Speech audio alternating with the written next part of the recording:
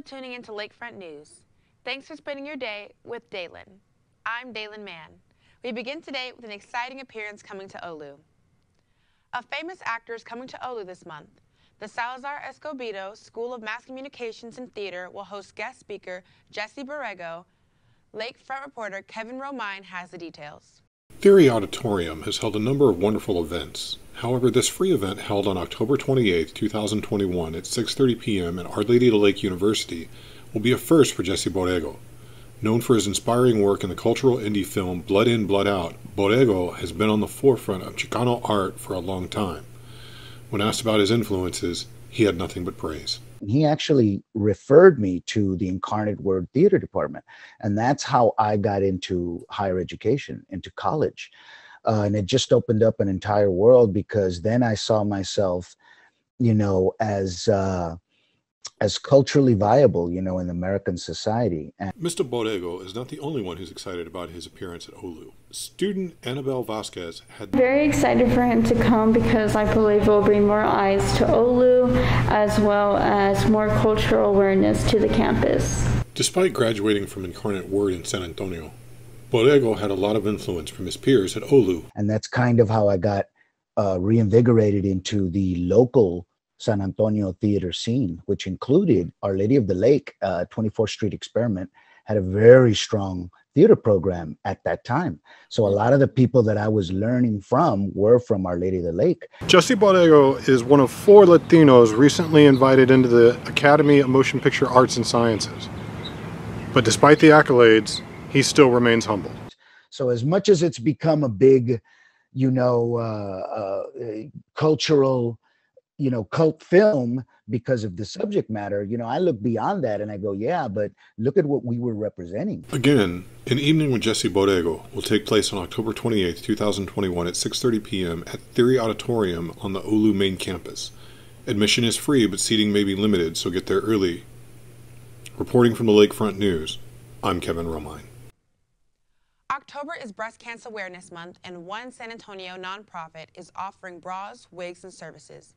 Our Lakefront reporter, Melissa Aguirre, tells us more about how you or someone you know can, get, can take advantage of their services. SLEW, which stands for Support Lending for Emotional Well-Being, is a nonprofit agency helping uninsured, underinsured, and low-income women who are currently fighting cancer. SLEW is the only agency of its kind in Bexar and surrounding counties serving over 700 clients and providing 10,000 services per year at no cost. Once you walk in that door, everything is free to you. You don't pay anything.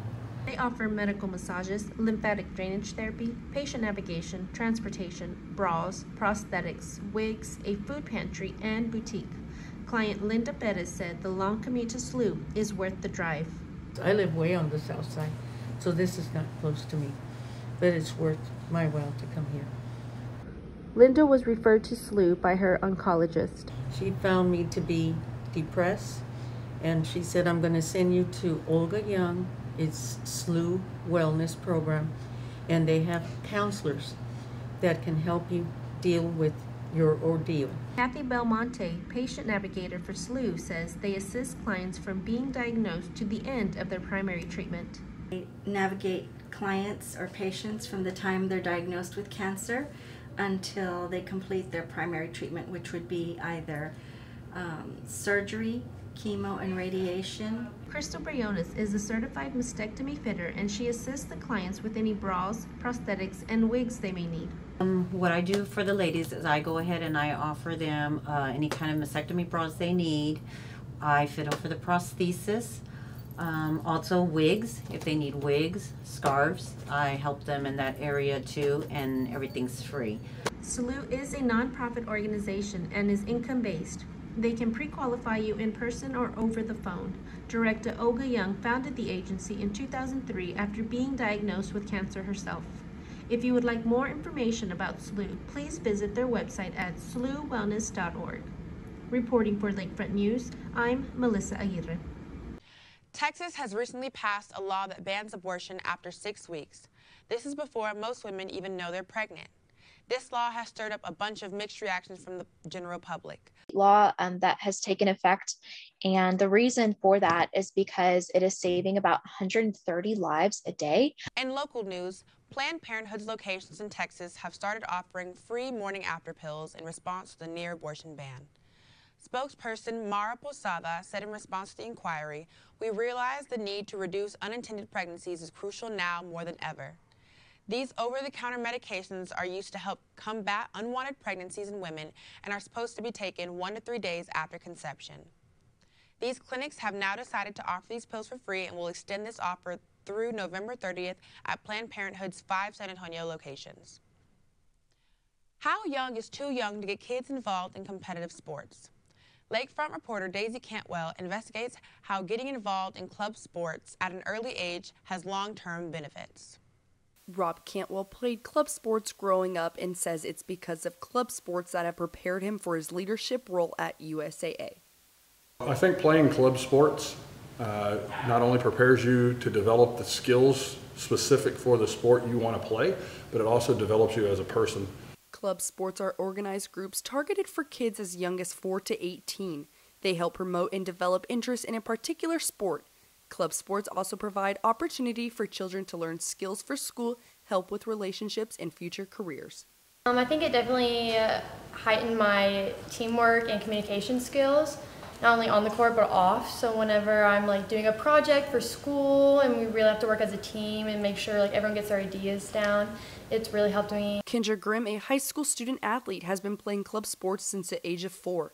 She explains the importance of how organization and good time management has been helpful when being outside of club sports. Cantwell says club sports made such an impact on his life that he now coaches. You have to understand what dedication and commitment and loyalty is, and that helps you later in life when you prepare when you're preparing for a job. Uh, it helps you understand teaming and leadership and what you have to sacrifice to be successful. Reporting for Lakefront News, I'm Daisy Cantwell. In some exciting sports news, the women's golf team won a tournament for the first time in Olu's history. These lovely ladies placed first in the Queen of the Hill Country Classic hosted by Schreiner University. The whole team, as well as the coaching staff, is bursting with pride as they make history for the women's golf program. We send our luck to these Saints as they travel to Victoria, Texas on October 8th to participate in the University of Houston Victoria's Fall Classic. Keep up the great work, ladies, and continue to represent Olu on the green. In other sports news, volleyball received five votes in the 2021 NAIA Women's Volleyball Coaches Top 25 poll. This marks the first time since 2018 the Saints have been included in the poll, and, and this achievement has generated some major buzz among our competitors. Volleyball has done some amazing work so far, and I can honestly say that we have nowhere to go but up. As a member of the Saints volleyball team, I am so thankful for these awesome girls and amazing coaching staff. I'm so proud of the work we have put in and can't wait to celebrate our future achievements. With confetti raining down on Our Lady Lake University, runners from all over Texas made their way down to Olu's 5K run and walk. Lakefront reporter Sydney Rodriguez brings us more information. Our Lady of the Lake University had their annual confetti 5K run and walk. Runners of all ages came from all over Texas to participate in the event. Race organizer and director of campus and community engagement at Our Lady of the Lake University, Elizabeth Longoria, explains why 5K run and walks are beneficial. Every university should have a 5K, um, especially to benefit their students, uh, you know, for scholarships. It's fun. Um, there's a lot of people that participate. Avid runner and data entry clerk at Fay Webb Elementary in Corpus Christi, Angie Trevino had this to say about running. There's nothing like the feeling of getting out there and run, and sometimes it's even better when it's for a good cause. Even during a pandemic, the energy and good vibes at the 5K were present. I'm so excited to get back in the 5K world out there again. Runners were warmed up and ready to start their runs and hope to beat their run times. I met back with Trevino after her run, and this is what she had to say. Started out slow, but then eventually I sped up. Uh, I didn't finish at the top three, but hey, that's okay. My goal was just to finish. If you missed the 5K, don't worry. The next Confetti 5K Run and Walk will be held next April. Reporting for Lakefront News, I'm Sydney Rodriguez. Spooky season is upon us.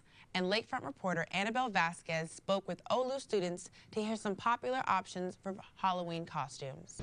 Many can agree dressing up for Halloween is one of the fun things to do, especially as a college student. Our Lady of the Lake student Lorena Mendoza said she doesn't follow the crowd when selecting her costume. I don't think I'm looking for costume trends, but I think I'm looking for the creativity in an outfit. And I think the creativity makes the costume look nicer. According to Cosmopolitan, many costume trends this year include dressing up from popular shows Squid Game, Gossip Girl, Wanda Vision, and even Olivia Rodrigo. Olu student Evan Velasquez shares his excitement to dress up this year.